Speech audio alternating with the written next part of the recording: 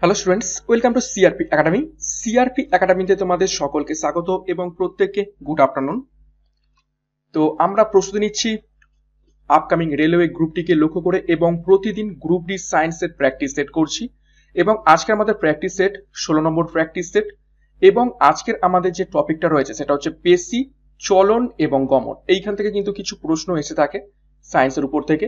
তো প্রতিদিন দুপুর বারোটা থেকে এই সমস্ত ক্লাসগুলো ফলো করবে। আপকামিং রেলওয়ে গ্রুপটির মধ্য থেকে তোমাদের যে সায়েন্স পার্টটা রয়েছে, সেখান থেকে কিন্তু হুবহু প্রশ্ন তোমরা পরীক্ষায় কমন পেয়ে যাবে। তো আজকের ক্লাসটা শুরু করা যাক। তার একটা গুরুত্বপূর্ণ ঘোষণা।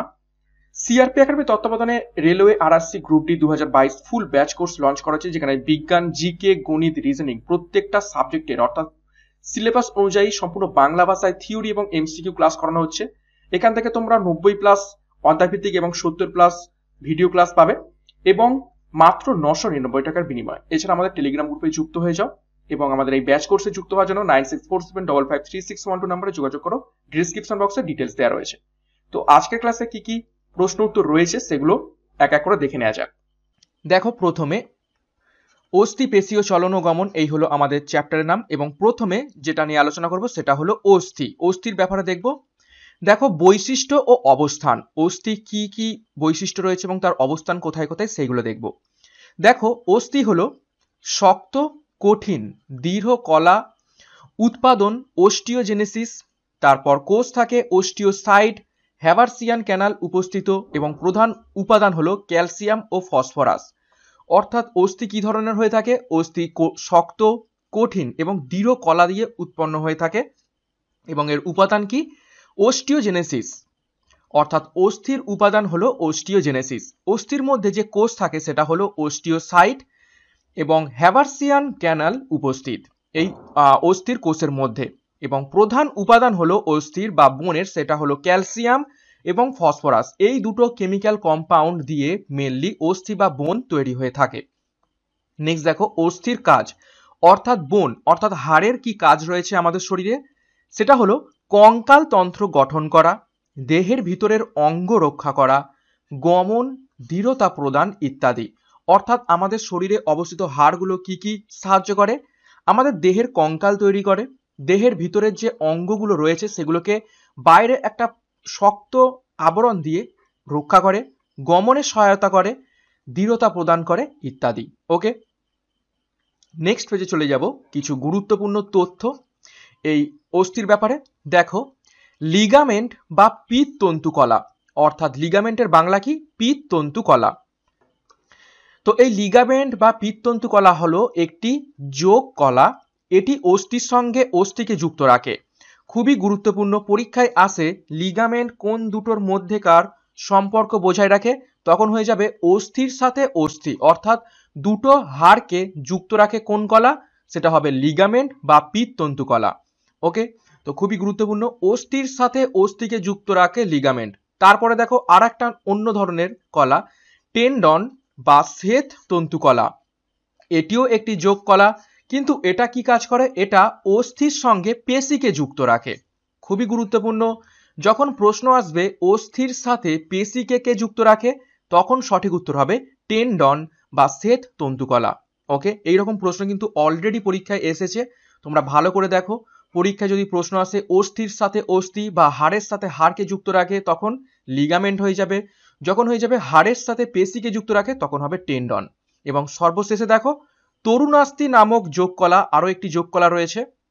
দেখো তরুণাস্তি নামক যোগকলা কর্ণছত্র, নাকের অগ্রভাগ, পরের প্রান্ত ল্যারিংস ইত্যাদিতে অবস্থ অবস্থিত। অর্থাৎ আমাদের কানের যে পাতাগুলো নাকের উপরিভাগ। দেখবে এই সমস্ত যে কলাগুলো রয়েছে, এগুলো খুবই নরম টাইপের হয়ে থাকে। তো এগুলোকে বলা হয় তরুণাস্তি কলা এটি দেহকে দৃঢ়তা প্রদান করে এবং অস্থি সন্ধির সংযোগ স্থানে শক অ্যাবজারভারের কাজ করে। খুবই গুরুত্বপূর্ণ তথ্য। পরীক্ষায় প্রশ্ন এসেছে অলরেডি যে শক অ্যাবজর্ভারের কাজ করে অস্থির সংযোগ স্থানে কোন কলা? তখন সঠিক উত্তর হয়ে যাবে তরুণাস্থি কলা তো এখান থেকে খুবই গুরুত্বপূর্ণ তথ্য আমরা জানলাম বিভিন্ন যোগ কলার ওপরে। তো হাড়ের সাথে হাড়ের লিঙ্ক করে লিগামেন্ট হাড়ের সাথে পেশির বা মাসেলের লিঙ্ক করে টেন্ডন এবং শক অ্যাবজর্ভার হিসেবে কাজ করে তরুণাস্থি কলা। নেক্সট দেখো, আমরা আলোচনা করব পেশি বা মাসেলসের ব্যাপারে। দেখো, দীর্ঘাকৃতি কোষ এবং তন্তু দ্বারা গঠিত সংকোচনশীল কলাকে পেশি কলা বলা হয়। আরও একবার দেখব, দীর্ঘাকৃতি কোষ, অর্থাৎ পেশির যে কোষগুলো হয়, সেগুলো কি? দীর্ঘাকৃতি, অর্থাৎ লম্বা লম্বা হয়ে থাকে। কি দ্বারা গঠিত? তন্তু দ্বারা গঠিত সংকোচনশীল কলাকে পেশি কলা বলে। দেখো, পেশি কোষের, এটা হবে কোষের, পেশি কোষের সাইটোপ্লাজমে বহু সংখ্যক অনুদৈর্ঘ্য তন্তু অবস্থিত থাকে, যা মায়োফ্রাইবিল নামে পরিচিত। খুবই গুরুত্বপূর্ণ তথ্য। পেশি কোষের সাইটোপ্লাজমে বহু সংখ্যক অনুদৈর্ঘ্য তন্তু থাকে, তাদের কি নামে ডাকা হয়? মায়োফ্রাইবিল তারপরে দেখো পেশি কোষের সাইটোপ্লাজমকে সার্কোপ্লাজম বলা হয়ে থাকে। ভিভিআই পয়েন্ট এইখান থেকেই প্রশ্ন আসে যে পেশি কোষের সাইটোপ্লাজমকে আমরা কি নামে ডেকে থাকি? সঠিক উত্তর হয়ে যাবে সার্কোপ্লাজম। এবং পেশি কোষের আবরণকে, বাইরের যে আবরণটা থাকে, তাকে কি বলা হয়? তাকে বলা হয় সার্কোলেম্মা। এই শেষ পয়েন্টটা কিন্তু ভিভিআই পয়েন্ট, এইখান থেকেই প্রশ্ন এসেছে। পেশিকোষের সাইটোপ্লাজমকে কি বলা হয়? তখন হবে সার্কোপ্লাজম এবং পেশিকোষের আবরণকে কি বলা হয়? তখন হয়ে যাবে সার্কোলেম্মা। তো খুবই গুরুত্বপূর্ণ তথ্য এই পেজ থেকেও দেখলাম। নেক্সট দেখো, পেশির প্রকারভেদ, অর্থাৎ কি ধরনের মাসেলস রয়েছে, সেইগুলোর প্রকারভেদ আমাদের দেখতে হবে। দেখে নাও। পেশিকে তার বৈশিষ্ট্য এবং তার ধরন অনুযায়ী তিনটে ভাগে কিন্তু ভাগ করা হয়েছে, দেখো। অবস্থান সরেক পেশি, অরেক পেশি এবং হৃদ পেশি। এই তিন ধরনের পেশি আমরা দেখতে পেয়ে থাকি। সরেক পেশি বা সরেখ পেশি, অরেক পেশি এবং শেষে রয়েছে হৃদ পেশি। তো সরেক পেশির অবস্থান কোথায়? দেখো সরেক পেশি অবস্থান করে কঙ্কাল তন্ত্রের সঙ্গে যুক্ত। আমাদের যে স্কেলিটান রয়েছে, তার সাথেই এই পেশিগুলো একদম লিঙ্ক হয়ে রয়েছে। এটা হচ্ছে সরেক পেশি। আর অরেক পেশি যে কোথায় রয়েছে দেখো, এগুলো কিছু পার্টিকুলার জায়গায় রয়েছে, যেমন গ্রাসনালী আইরিস আইরিস অর্থাৎ আমাদের চোখে, জরায়ু এবং রক্তবাহ। এই সমস্ত পার্টিকুলার কিছু নির্দিষ্ট জায়গায় অরেক পেশি রয়েছে এবং হৃদপেশি নাম শুনেই বুঝতে পারছ কোথায় রয়েছে? এক নম্বর হৃৎপিণ্ডে রয়েছে আর একটা রয়েছে ফুসফুসীয় শিরাতে, এই হৃদপেশি রয়েছে। এবার দেখব সরেক পেশির আকার কেমন। সরেক পেশির আকার বেলন আকার। সরেক পেশির আকার বেলনের মতো। অরেক পেশির আকার মাকু আকৃতির, আবার হৃদপেশির আকার সরেক পেশির মতোই বেলন আকার। এবার যেটা সব থেকে গুরুত্বপূর্ণ সেটা হলো প্রকৃতি।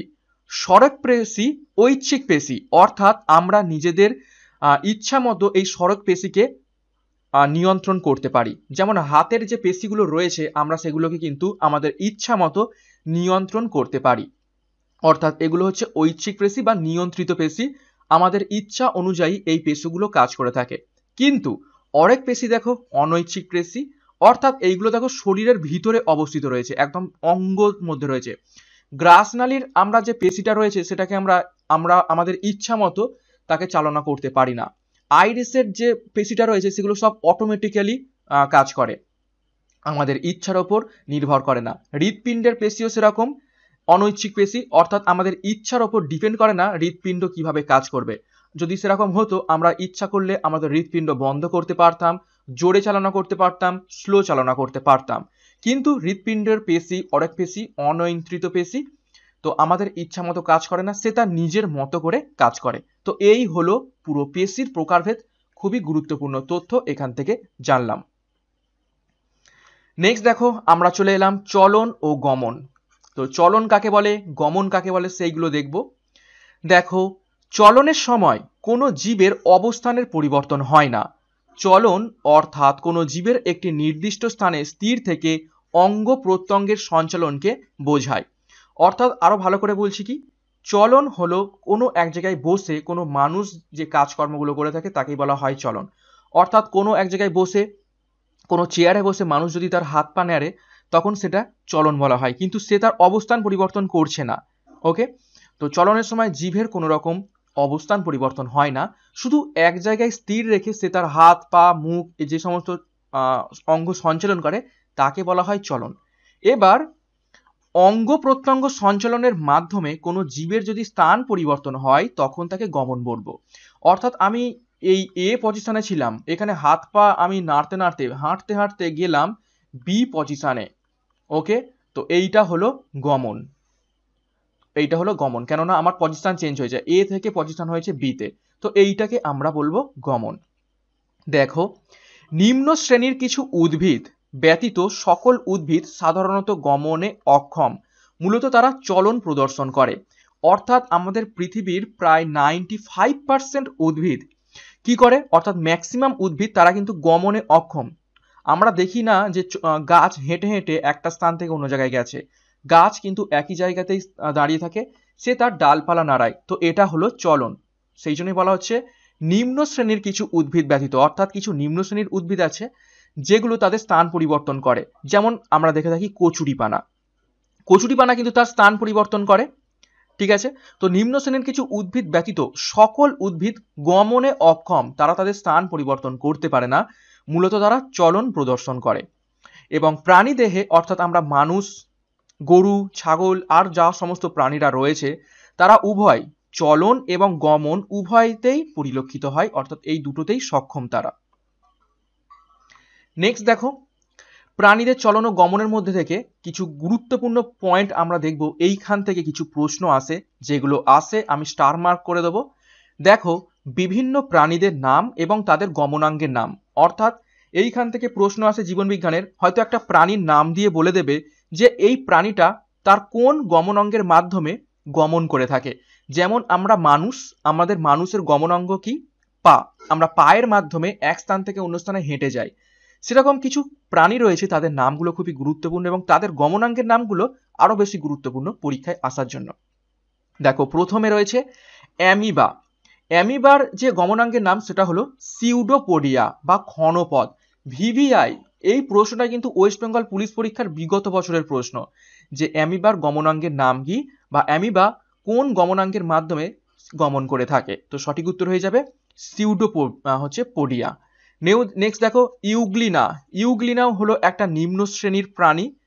তো তার, সেটি গমন করে থাকে ফ্লাজেলার মাধ্যমে। এটাও খুবই গুরুত্বপূর্ণ। তারপর দেখো প্যারামোসিয়াম প্যারামোসিয়াম আরও একটি প্রাণী যেটা সিলিয়ার মাধ্যমে গমন করে থাকে। হাইড্রা, এটা খুবই গুরুত্বপূর্ণ। হাইড্রার গমন অঙ্গের নাম দেখো টেংটাকেলস বা কোর্সিকা। এটা হচ্ছে কোর্সিকা। টেংটাকেলস বা কোর্সিকার মাধ্যমে হাইড্রা গমন করে থাকে।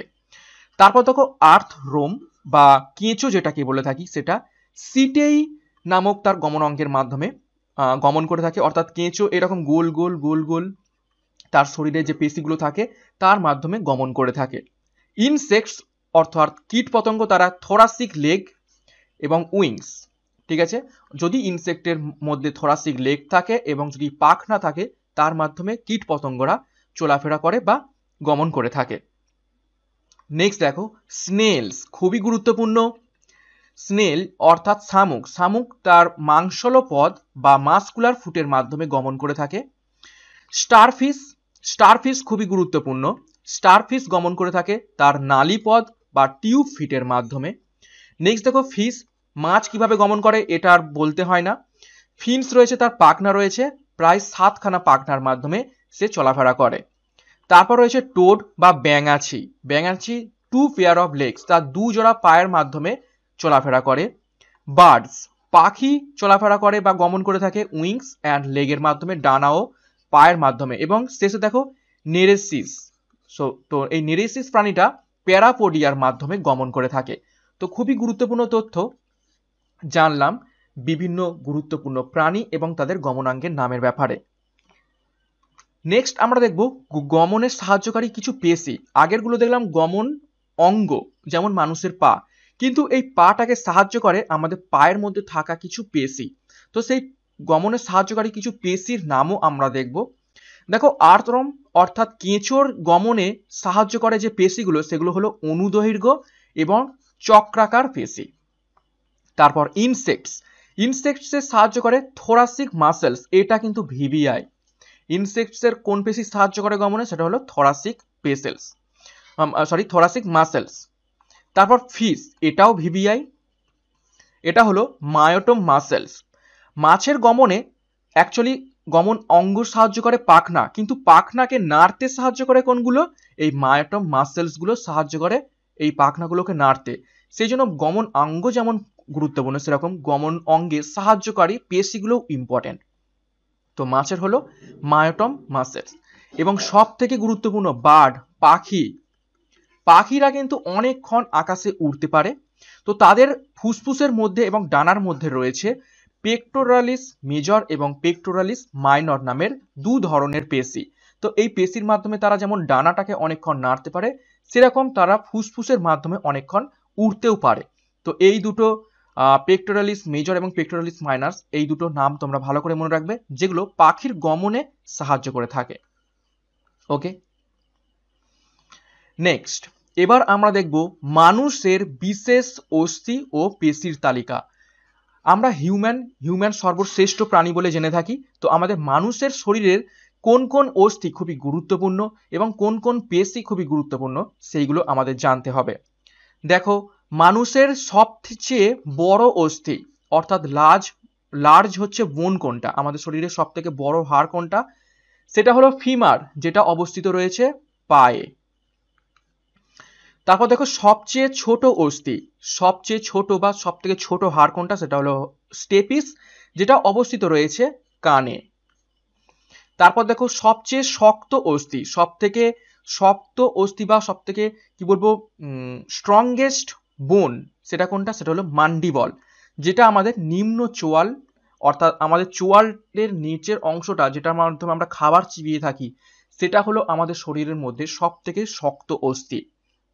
তারপর দেখো, দেহের উপরের অংশের সবচেয়ে বড় অস্থি কোনটা অর্থাৎ আমাদের পায়ে রয়েছে ফিমার সেটা গোটা শরীরের মধ্যে সব থেকে বড় হাড়।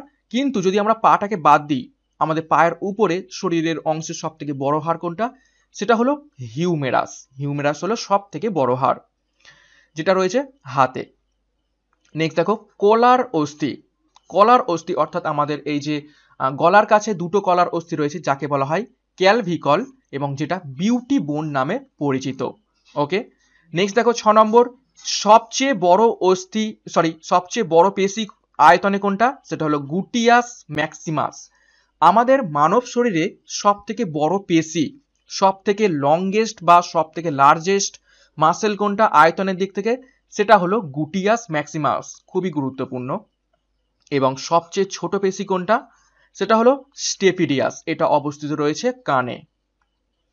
ওকে কর্ণপটয়ে অবস্থিত স্টেপেডিয়াস সেটা হলো সব থেকে ছোট পেশি।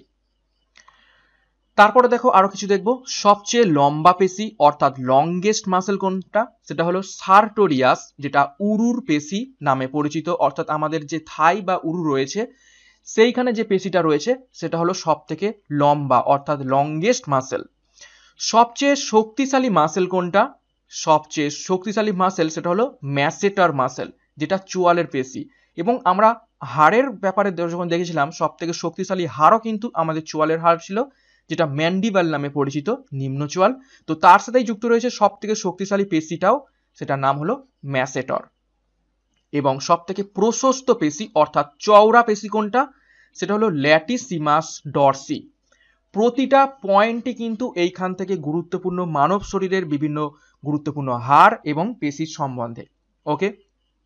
তারপর দেখো, মানব মানব দেহের বিভিন্ন অস্থি সন্ধি অস্থি সন্ধি মানে কোথায় দুটো অস্থি এইভাবে যুক্ত রয়েছে, তো সেইগুলোর ব্যাপারে একটু আমাদের দেখতে হবে। দেখো হিঞ্জ জয়েন্ট হিঞ্জ জয়েন্ট রয়েছে between humerus and ulna between humerus এবং আল্লা এই দুটো হাড়ের মাধ্যমে মধ্যে হিঞ্জ জয়েন্ট রয়েছে। তারপরে দেখো প্লেন জয়েন্ট প্লেন জয়েন্ট রয়েছে between carpals next pivot joint রয়েছে বিটুইন সেকেন্ড ভার্টিব্রা অ্যাটলাস এবং অ্যাক্সিসের মধ্যে। তারপর স্যাডেল জয়েন্ট রয়েছে বিটুইন কার্পাল অ্যান্ড মেটাকার্পালের মধ্যে। তারপর বল অ্যান্ড সকেট জয়েন্ট রয়েছে between scapula and head of হিউমেরাসের মধ্যে। তো এখানে এইগুলো হচ্ছে গুরুত্বপূর্ণ অস্থিসন্ধি। কি কি রয়েছে? Hinge joint plane joint pivot joint saddle joint এবং বল অ্যান্ড সকেট জয়েন্ট এই পাঁচ ধরনের গুরুত্বপূর্ণ অস্থিসন্ধি রয়েছে। তার উদাহরণগুলো আমরা দেখলাম। হিঞ্জ জয়েন্ট হিউমেরাস এবং আর্লার মধ্যে রয়েছে। প্লেন জয়েন্ট রয়েছে কার্পাসেলসের মধ্যে পিভর জয়েন্ট রয়েছে সেকেন্ড ভার্টিব্রার মধ্যে যেখানে অ্যাটলাস এবং অ্যাক্সিস এই দুটোর মধ্যে অবস্থিত করছে। স্যাডেল পয়েন্ট রয়েছে কার্পাল কার্পাল এবং মেটাকার্পেলের মধ্যে এবং বল অ্যান্ড সকেট জয়েন্ট রয়েছে স্ক্যাপুলা এবং হেড অফ হিউমেরাসের মধ্যে। তো এই ছিল আমাদের মানব দেহের বিভিন্ন অস্থি সন্ধির ব্যাপারে। নেক্সট কিছু গুরুত্বপূর্ণ তথ্য দেখব। দেখো, গমনে অক্ষম প্রাণী। আমরা গমন পড়ার সময় দেখেছিলাম যে ম্যাক্সিমাম প্রাণী কিন্তু গমনে সক্ষম। কিন্তু গমনে অক্ষম এমন কোন প্রাণী রয়েছে? সেটা হলো স্পঞ্জ এবং প্রবাল এই দুটো প্রাণী হওয়া সত্ত্বেও এরা গমনে অক্ষম। নেক্সট দেখো, গমনে সক্ষম উদ্ভিদ। আমরা আবার দেখেছিলাম উদ্ভিদরা ম্যাক্সিমাম চলনে সক্ষম গমন করতে পারে না। তো গমনে সক্ষম উদ্ভিদ হলো দেখো ক্ল্যামাইডোমোনাস এবং ভলবক্স। ক্ল্যামাইডোমোনাস এবং ভলবক্স এই দুটো উদ্ভিদ কিন্তু গমনে সক্ষম, অর্থাৎ এরা এদের স্থান পরিবর্তন করতে পারে। নেক্সট দেখো, মানবদেহের শ্বেত কণিকা, অর্থাৎ আমাদের শরীরের ভিতরে যে হোয়াইট ব্লাড সেল রয়েছে, তার চলন কি ধরনের? তার চলন অ্যামিবয়েড চলন। অর্থাৎ অ্যামিবার যেমনভাবে চলে থাকে সিউডোপোডিয়ার মাধ্যমে সেরকম আমাদের শ্বেতকণিকাও অ্যামিবয়েড চলন প্রদর্শন করে। দেখো, মানুষের ক্ষেত্রে দ্বিপদ গমন লক্ষ্য করা যায়। দ্বিপদ গমন অর্থাৎ আমরা মানুষরা দু পায়ে হেঁটে থাকি। তারপর খুবই গুরুত্বপূর্ণ একটি তথ্য রয়েছে, দেখো। একটি পরিণত মানুষের দেহে দুশো ছয়টি হাড় রয়েছে। একটা প্রাপ্তবয়স্ক মানুষের শরীরে দুশো ছয়টি হাড় রয়েছে। যেটা খুবই গুরুত্বপূর্ণ এবং বহুবার প্রশ্নটা পরীক্ষায় এসেছে। তারপর দেখো, ছশো ছাপান্নটি কঙ্কাল পেশি দ্বারা গঠিত এবং আমাদের শরীরে কতগুলো পেশি রয়েছে? দুশো ছটা হাড় রয়েছে এবং কতগুলো কঙ্কাল পেশি রয়েছে সেটা হলো ছশো ছাপান্ন। সিক্স ফাইভ সিক্স এতগুলো পেশি রয়েছে আমাদের শরীরে। এবং মানুষের দ্বিপদ গমনের সময় লঘু মস্তিষ্ক এবং অন্তকর্ণে অবস্থিত অর্ধবৃত্তাকার নালী দেহের ভারসাম্য রক্ষা করে। ভিভিআই পয়েন্ট বহুবার প্রশ্নটা পরীক্ষায় এসেছে এই পয়েন্টটা থেকেই যে মানুষের শরীরের ভারসাম্য রক্ষা করে কোন অংশটি। তো মানুষের শরীরের ভারসাম্য রক্ষা করে এক লঘু মস্তিষ্ক আর একটা করে অন্তর্কর্ণে অবস্থিত অর্ধবৃত্তাকার নালী। এই দুটো আমাদের শরীরে গমনের সময় এবং ম্যাক্সিমাম ক্ষেত্রে আমাদের শরীরের ভারসাম্য নিয়ন্ত্রণ করে। ওকে নেক্সট দেখো প্রাণীদেহের ক্ষেত্রে কঙ্কাল তন্ত্রের সঙ্গে যুক্ত পেশি গমনে সাহায্য করে। প্রাণীদেহের সাথে কঙ্কাল তন্ত্রের সাথে যুক্ত যে সমস্ত পেশিগুলো রয়েছে, তারাই ম্যাক্সিমাম গমনে সাহায্য করে। তারপর দেখো, মানুষের ক্ষেত্রে নিশ্চল অস্থির সন্ধির উদাহরণ হলো করটির ক্রেনি ক্রেনি আমের অস্থি সন্ধি। আমরা দেখো বিভিন্ন অস্থি সন্ধি দেখলাম hinge joint pivot joint, saddle joint, এই সমস্ত জয়েন্টগুলো কিন্তু সব মুভেবেল, অর্থাৎ তারা কিন্তু নড়াচড়া করতে পারে। কিন্তু এমন একটা অস্থি সন্ধি বা জয়েন্ট রয়েছে যেটা নিশ্চল, নড়াচড়া করতে পারে না। তো সেরকম একটা অস্থি সন্ধির উদাহরণ হলো এই করটির ক্রেনি আমের অস্থি সন্ধি এটা কিন্তু একদমই নিশ্চল, এর নড়াচড়া নেই। এবং দেখো, শেষ পয়েন্ট আজকের থিওরির সামুদ্রিক কচ্ছপের গমন আঙ্গ হলো ফ্লিপার। অর্থাৎ কচ্ছপ তার যে পা রয়েছে, ছোট ছোট পা, সেগুলো ফ্লিপারের মতো দেখতে, সেই জন্য তার গমনাঙ্গের নাম ফ্লিপার। এর মাধ্যমে সামুদ্রিক কচ্ছপ তাদের স্থান পরিবর্তন করে থাকে। এরপর এই থিওরির ওপর বেস করে আমরা কিছু প্রশ্ন উত্তর করে ফেলব। তো দেখো, প্রথম প্রশ্ন। পাখির গমনাঙ্গ কি? তো পাখির গমনাঙ্গ পা ও ডানা। মানুষের গমনাঙ্গ কি? মানুষের গমনাঙ্গ এটা সকলেই জানে, পা। মানুষের মেরুদণ্ডের অস্থি সংখ্যা কয়টি? খুবই গুরুত্বপূর্ণ। মানুষের মেরুদণ্ডের অস্থি সংখ্যা হলো তেত্রিশটি। তারপর দেখো, বল ও সকেট। সন্ধি দেখা যায় কোথায়? বল ও সকেট দেখো, এখানে আমি লিখে দিয়েছি। এই যে বল অ্যান্ড সকেট জয়েন্ট দেখা যায় বিটুইন স্ক্যাপুলা এবং হেড অফ হিউমেরাস অর্থাৎ এটা অ্যাকচুয়ালি কাঁধে দেখা যায়। তো দেখো, মানুষের শরীরে বল ও সকেট সন্ধি দেখা যায় কোথায়? কাঁধে। তারপর, অস্থি সন্ধিগুলি কিসের দ্বারা যুক্ত থাকে? অর্থাৎ হাড়ের সাথে হাড়। হাড় এবং হাড় যুক্ত রাখে কোন হচ্ছে যোগ কলা, সেটা হলো লিগামেন্ট লিগামেন্ট যোগ কলা সেটা হাড় এবং হাড়ের মধ্যে সংযোগ স্থাপন করে। এটা কিন্তু আমরা থিওরির মধ্যেই পড়েছি। দেখো তারপর হাইপোন্যাস্টিক চলন দেখা যায় কোন কোন উদ্ভিদে? হাইপোন্যাস্টিক চলন দেখা যায় ফার্ন এবং কচু পাতার মধ্যে। তারপর দেখো এপিন্যাস্টিক চলন দেখা যায় কোন উদ্ভিদে? সেটা হলো ফার্ন এবং কচু পাতা। অর্থাৎ ফার্ন এবং কচু পাতার মধ্যে দু ধরনের চলন আমরা দেখতে পেয়ে থাকি। একটা হচ্ছে হাইপোন্যাস্টিক এবং এপিন্যাস্টিক চলন। নেক্সট দেখো প্রশ্ন নাম্বার এইট আরশোলার গমনাঙ্গ কি এবং গমন পদ্ধতিকে কি বলা হয়?